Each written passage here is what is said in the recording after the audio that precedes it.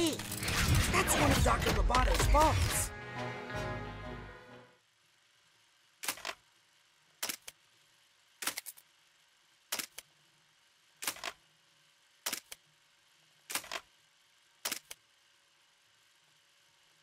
I should try to catch it. I think I hear something.